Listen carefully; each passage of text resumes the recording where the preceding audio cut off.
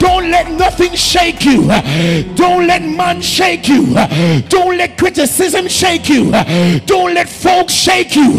But he says, stand firm in the things of God. When you go on the job, don't let nobody shake you. Just stand up and pray because God got a of shifting things around. They may be fighting you today, but tomorrow they need you to sign something on their behalf. Somebody say, hold your ground, stand in faith and believe God, and don't go back to it.